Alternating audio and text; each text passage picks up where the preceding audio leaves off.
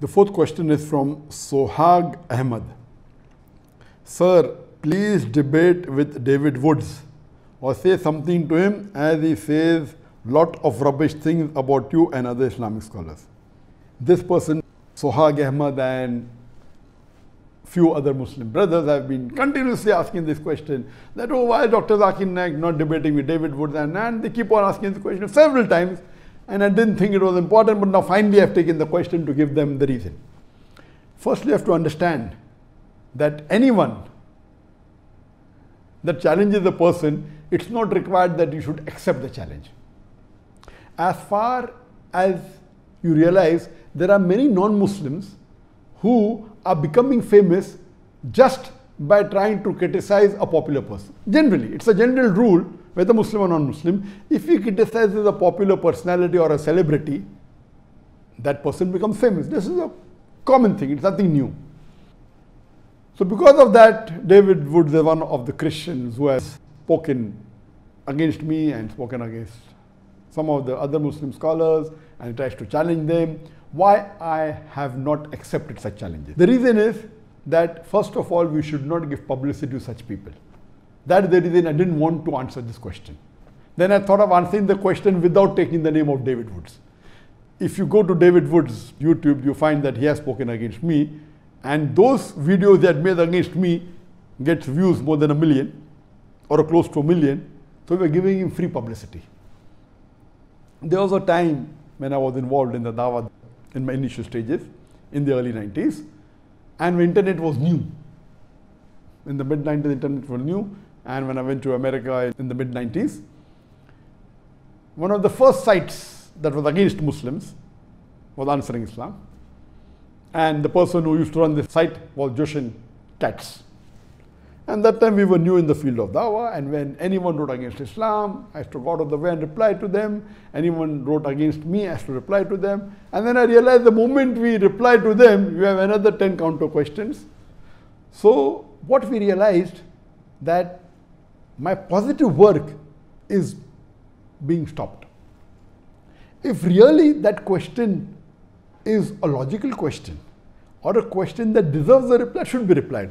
But these frivolous arguments, at that time when I was new, I told Jochen Katz that, okay, do you want to debate with me? You're writing against Islam. He said, do you think I'm a fool to debate with Dr. Zakir Naik? That was his reply. So if you see in the initial stages of my dawah in the late 90s, in the early 2000s, I had many debates. And then I realized that debating is not the best, it should be done when required. But better is to talk about, give lectures on similarities between Islam and Christianity, similarities between Islam and Hinduism. But when required, yes. And one of the best debaters in the world, you know, was Sheikh Ahmad Deedat. But then we realized that there were people who started challenging me. And one such person was from USA again. I'll tell you his name. Sam Shamoun. Sam Shamoun. And when I went to Chicago, I met him. He said, Oh, I want to debate with you. I said, Send your guru. And then I had a debate with his guru, Dr. William Campbell. And when I accepted this debate, I was called by the students of USA that Dr. William Campbell wrote a book, Quran and Bible in the Light of Science. And he took out about 30 scientific errors in the Quran. And for eight years, no Muslim replied. So this book was doing a great damage for the dawah of the Muslims. And no one replied, so I took up the challenge. I read the book and I went and I debated with. And Alhamdulillah, in Chicago, there were two groups among the Muslims. One group was against the debate. What is this? No one replied. And now this Zakir, who is this young man coming from India, how will he reply? So half the Muslims were against the debate and half the Muslims were for. Alhamdulillah, the debate took place in Chicago and Allah's help was there. Allah's mercy was there and it was a very successful debate. So much so that after that, Alhamdulillah, William Campbell, who got a doctorate in writing a book against Islam, mashallah, it lost its popularity. Later on, then I made a policy that after my video started becoming popular, then I had a rule. I will only debate with those people who are popular. Then we realized that those people who are not popular started challenging to become popular. And I'll give you a very good example. You know Sheikh Ahmad Deedat. He debated with Jimmy Swaggart. And Jimmy Swaggart that time was one of the most popular televangelists. He was multiple times more popular than Sheikh Ahmed Deedat. Many people told him, don't go, he will chew you and spit you. But Alhamdulillah, Sheikh Ahmed Deedat had the help of Allah and he gave a knockout to Jimmy Swaggart. We have another example, he debated with Anis Shorrosh. Anis Shorrosh wasn't known at all. But when Anis Shorrosh debated with Sheikh Ahmed Deedat, Ahmed Deedat, Alhamdulillah, won him lock, stock and barrel, but Anis Furosh became popular. So what we realize that when you debate with someone who's popular and an unpopular person debates with a popular person, the unpopular person becomes famous overnight. So why should we make the unpopular Christian missionary that's popular? So then I had a policy that anyone wants to debate with me should minimum have at least 2% of the audience that I have in my largest gathering. And earlier I said that anyone who can gather 10,000 people individually for a lecture, I will debate him.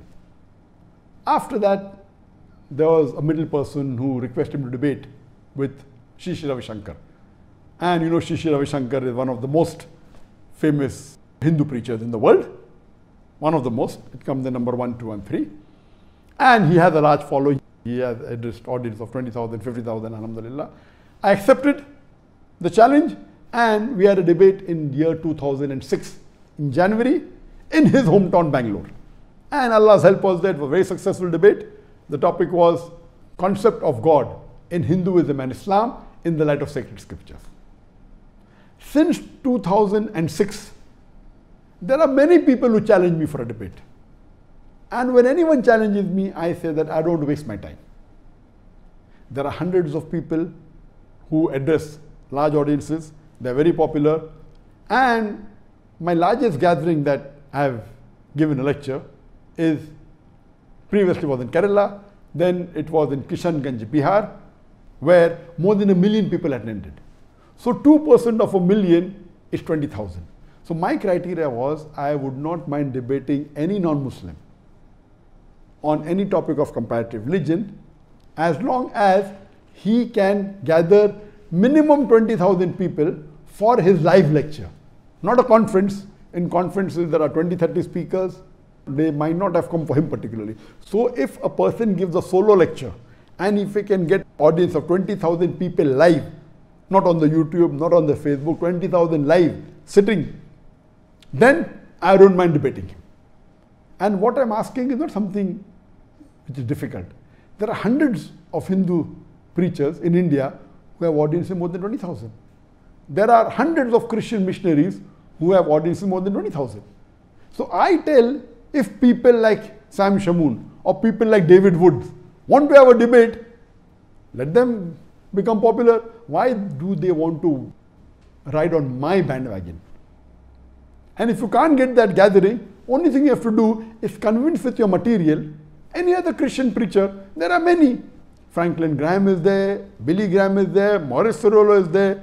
There are many. There are hundred speakers that I know in Christianity who have given live lectures to more than 20,000 people. What do you have to do is catch one of them and convince them that your material against me is logical and give it to them. I will have a debate with them. Why should I make you famous overnight? I heard one or two of his videos that Zakir Naik is a joke. It is. What he's talking is rubbish. But the moment I reply to him, he becomes famous. That's the reason I was avoiding handling this question because now the moment I take the name of David Woods, most of the people hearing me tonight may not be aware of David Woods. A small percentage maybe. They will go and check, he will become famous. And let me tell you, there are many other people. There was a Dai by the name of Muhammad Hijab. And he came to meet me in Malaysia last year and he's a fan of mine, he's a good guy. He personally had a debate with David Woods. I have not seen the video, I was supposed to watch, but some of my colleagues saw it and they told that Brother Muhammad Hijab, he gave David Woods a knockout. So when others can do the job, why should I waste my time? That's the reason previously we used to reply on the internet. Now we don't. Because the moment you reply, they'll give a counter reply and your work of positive dawa suffers. So that's the reason anyone who wants to debate me, this criteria is there. Give it to a celebrity, give it to a famous personality. He will not be a fool to debate with me. Today, if someone gives a million dollar to Shishi Ravi Shankar, he will never agree to have a debate with me again. He knows that. Even if you give two million dollars to him, he will not. Because he's a celebrity. He will lose his following. And he already lost many, many people in that debate who are his followers who called him God. They accepted Islam. So that's the reason I request David Wood to convince any of these 100 Christian missionaries who are popular, who can have audience of more than 20, convince them. If he cannot convince them, why does he want to have a debate with him? When he cannot convince his own Christian brother that the material of his is enough to answer my lectures, why is he wasting his time? These people are only riding on the popularity of other people. Otherwise, he is unknown. And I request the Muslim brothers, please don't waste your time. Please don't waste your time. The person who asked me this question should have, in fact, known that Brother Muhammad Hijab, he had a debate with him and I already answered him. So why should you make David Wood popular? So hope this answers the question. And because I met this criteria since 2006, in the last 14 years, no one has ever wanted to debate me. One of the fans of Sadhguru told me, will you debate Sadhguru? And Sadhguru is a popular person, is not as popular as Shri Ravi Shankar, but he's popular. I told, okay, I accept it, I know he's popular. Okay, if he wants to debate with me, I'm not interested in debating him. He wants to debate, he wants to speak against Islam, wants to challenge me, I'll accept it. Because if he challenges me, and if Allah's help is there, and we present the truth and answer to all his illogical arguments, but naturally he will lose his following. So if people like Sadhguru or someone who's popular want to challenge on any topic of Islam and comparative religion, which I deal with, I accept the challenge. Hope that answers the question.